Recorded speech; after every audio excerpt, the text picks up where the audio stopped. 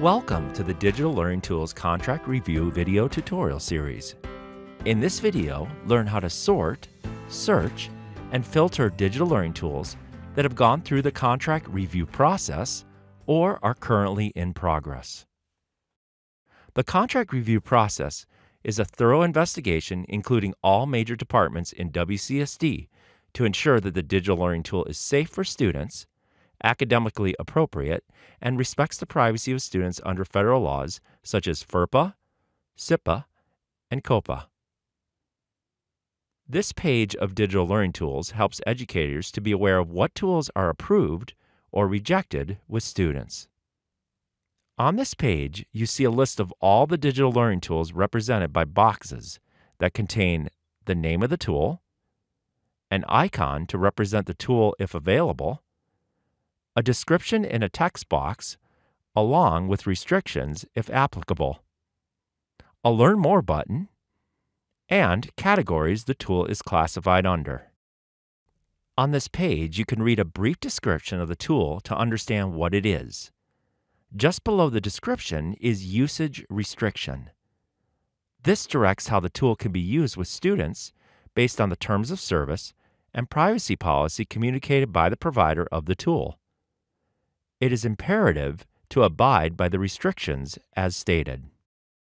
In the future, the Learn More button will direct educators to a resource page contained in the 21 CLD Handbook, providing more details about the tool, including links how to use the tool and classroom integration. It also contains a list of how the tool supports the learning practices identified with 21st century learning. Now, let us take a look at how you can arrange the boxes. You can sort the tools alphabetically, going from left to right, or sort by submission date, with the oldest at the top and newest at the bottom. To search for a specific tool, select the box next to keywords and start typing the tool you are searching for.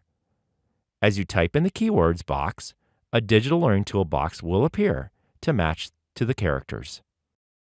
The category box filters the list of tools by category for the digital learning tool.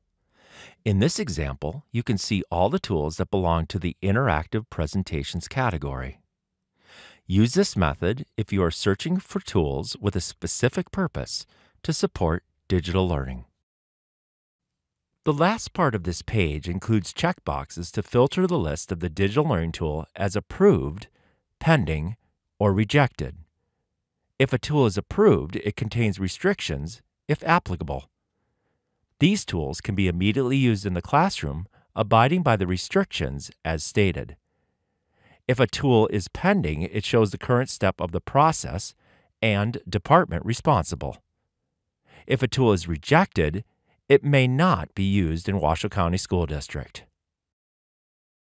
Now you know how to filter, sort, and search for a specific tool in the WCSD approved Digital Learning Tools page.